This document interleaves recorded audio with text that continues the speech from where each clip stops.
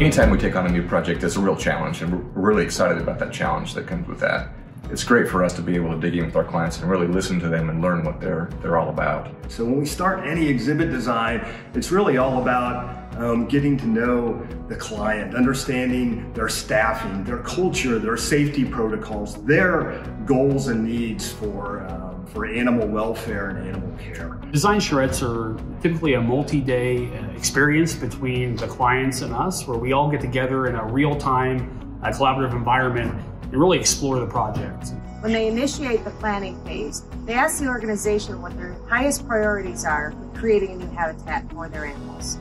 It always begins with a goal setting session where we really try to get out of them what their goals are for this project and, and how we might look forward and, and, implement those into the design. What I really like most about them is that they focus on the client's goals and the vision for the project. But working with our design team, they really encouraged us to really focus on uh, the core of our beliefs, which is really focusing on complexity and, and choice and control.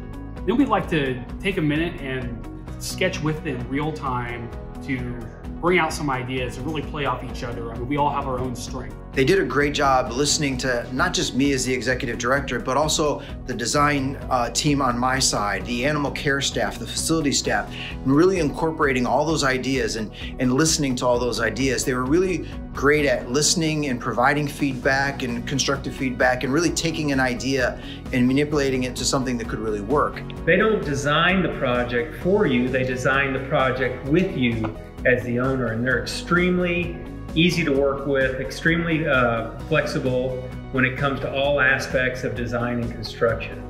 When we had something to say, they listened, they responded with clear communication, they really made sure that they got it right so that the outcomes that we were hoping to achieve were actually achieved. And I think that comes from the fact that they came in recognizing that this was our project. They didn't presuppose what these projects would be. We recognize that every institution is different. Uh, every institution has a different set of stakeholders and parameters. So we want to make sure we can adjust our approach to fit uh, your institution best. What I also like about them is they're really great at designing within the budget parameters, and I think that's very important. Part of the reason our firm is involved in zoological design is that we believe in the conservation mission of AZA organizations. Although our part is small in your overall mission, it's important for us to know that the work that we do is having a positive impact on the world.